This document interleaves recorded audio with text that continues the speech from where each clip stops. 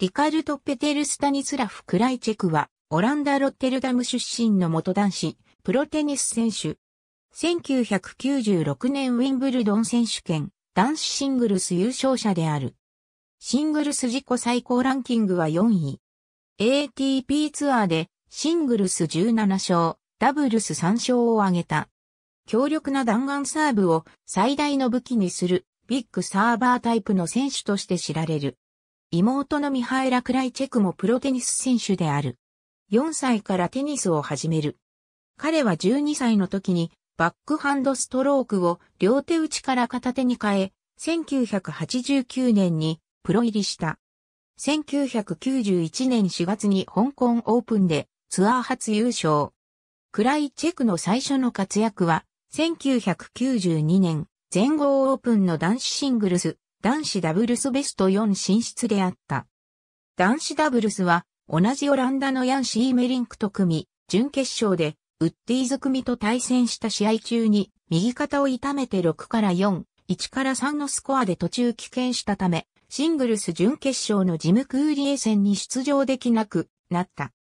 1993年全仏オープンで2度目の4大大会準決勝に進出した時は、クーリエに1から6、7から6、5から7、2から6で敗れた。この後しばらく故障に悩んで低迷した時期があった。1996年ウィンブルドン選手権に臨んだ時、クライチェクは世界ランキング13位であったが、過去に芝生の大会で実績がないためのシードで出場予定だったが、第7シードのトーマス・ムスターの欠場で第17シードとなる。その準々決勝で、クライチェクは大会4連覇を目指したピート・サンプラスを7から5、7から6、6から4のストレートで破るワンクルワセを起こした。初めての決勝で、マラビーやワシントンに6の3、6から4、6から3で勝利し、オランダ人の男子テニス選手として最初の4大大会優勝者となった。1993年から2000年までの8年間でウィンブルドン選手権でサンプラスを破った選手は、この1996年のクライチェク一人だけであった。サンプラスとの通算対戦成績は6勝4敗と相性が良かった。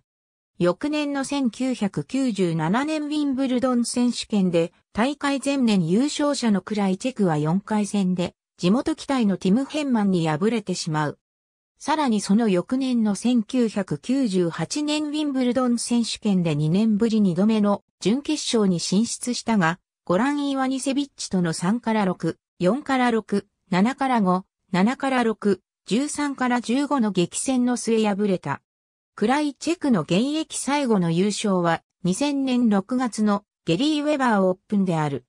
2003年6月、地元ロスマーレングラスコート選手権1回戦敗退を最後に31歳で現役を引退した。現在は毎年2月に故郷のロッテルダムで行われる ABN アムロ世界テニストーナメントのディレクターを務めている。夫人のダフネ・デッカーズは有名な女優で007シリーズのトゥモローネバー大に出演したこともある。